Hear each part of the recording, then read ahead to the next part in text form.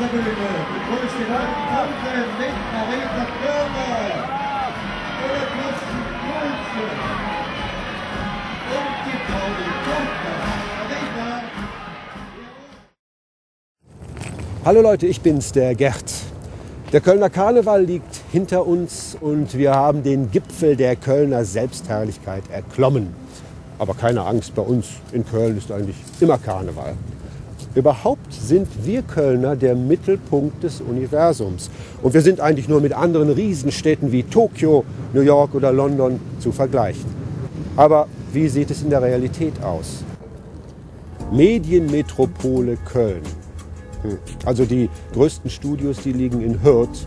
Und Hürth gehört bedauerlicherweise nicht zu Köln.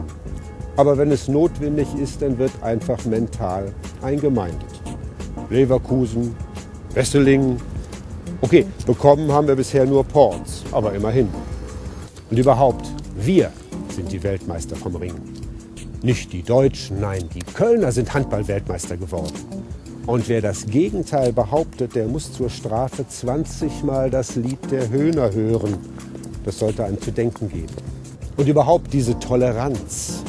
Also alles, was außerhalb der Grenzen von Köln liegt, ist erstmal sowieso Provinz. Im Süden haben wir diese Eifelbauern, im Westen diese Himbeerbiertrinker und die BMler. Und auf der anderen Rheinseite beginnt sowieso sofort Sibirien. Mal ganz zu schweigen von diesem seltsamen Dorf im Norden.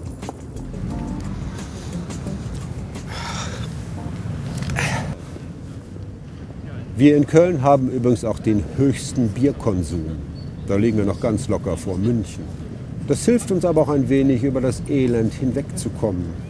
Verkommene Kindergärten und Schulen, ein winziger Kulturetat, sinkende Wirtschaftsdaten und steigende Arbeitslosenzahlen, also Viva Colonia. Was uns zum dunkelsten Kapitel der Kölner Selbstverliebtheit führt, das Kölner Lied.